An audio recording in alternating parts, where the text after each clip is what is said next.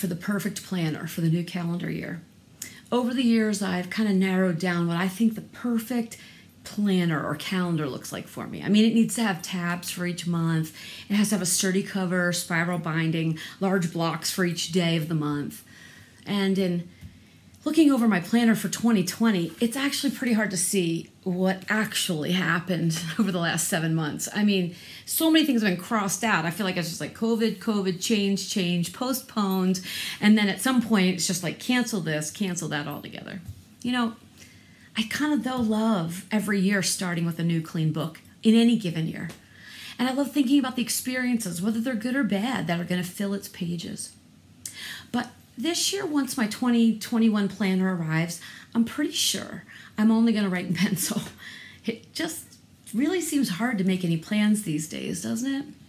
I mean, schools gives options about in person, online, hybrid, and then at the last minute changed it online only. Even at church, we've met in person, no, online, back in person, back to online only. And then this week, we've got all kinds of great things happening. I mean, we're going to actually offer a hybrid even at Immanuel. You can come to church uh, Sunday morning uh, at 9 or 11 in the morning in person, or you can watch online, or you could join us on Sunday night for a whole different experience that's going to be outside. And until we pivot again, that's the plan for now.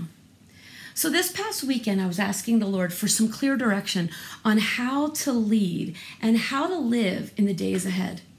And the Spirit was kept bringing back this verse from a parable of Jesus to uh, my mind that was from Matthew 25 21. It says, Commending his servant, the master replied, You have done well and proven yourself to be a loyal and a trustworthy servant. Because you have been faithful and a steward to small things, I will now put you in charge of much, much more. And you will experience the delight of your master who will say, Come and celebrate with me. I mean, I'm thinking that there are a lot of other applications for this particular verse, but it seems like we most often hear that verse, Well done, good and faithful servant, at uh, the funerals of Christians. There's a sense of hope and purpose in the expectation of hearing these words when we see Jesus face to face at the end of this earthly chapter of life. I mean, who doesn't want to hear those words from Jesus at the end of a lifetime of surrendering our, their time, their plans, their money, their relationships, their thoughts, their desires, surrendering everything to Him? So, with that end in mind, I'm inviting you on a weekly journey with me to ask and answer the question How should I be living now? So that in the end, I can hear Jesus greet me with a well done when I see him face to face. So, over the last 15, 10, 15 years, I've routinely asked, then prayed, and then partnered with the Holy Spirit to actually answer some specific, intentional questions. Questions that don't necessarily depend on having certainty for what's happening in the days ahead or in the future. Notice this in Proverbs chapter 16, verse 9. A person plans his way but the Lord directs his steps. How often have you asked God to give you direction or to determine your steps?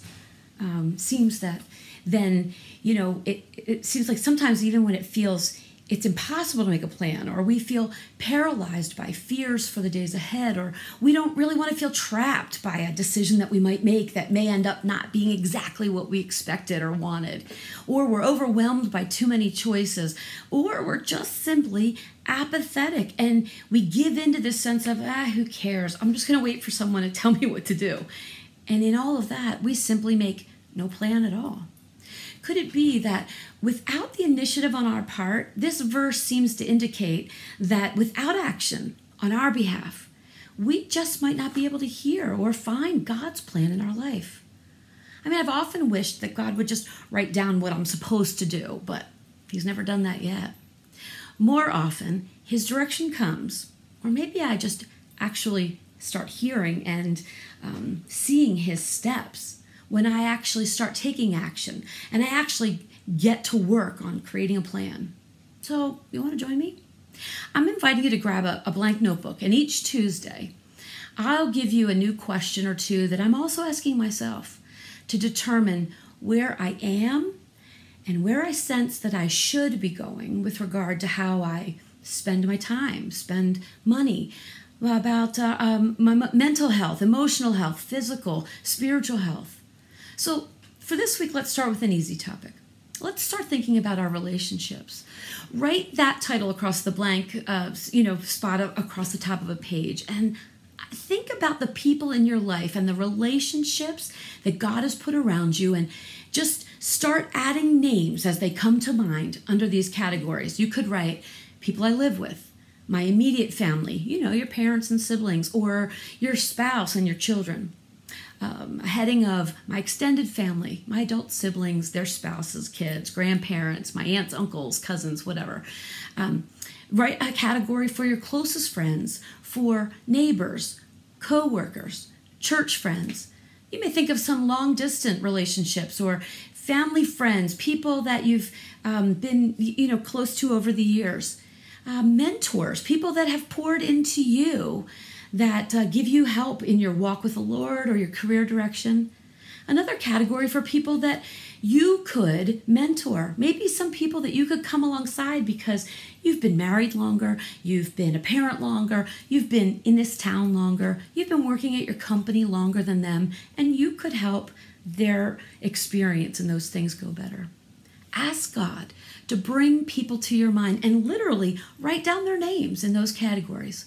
And next week, we'll unpack a little bit with what to do with that list and come up with a new question for next week.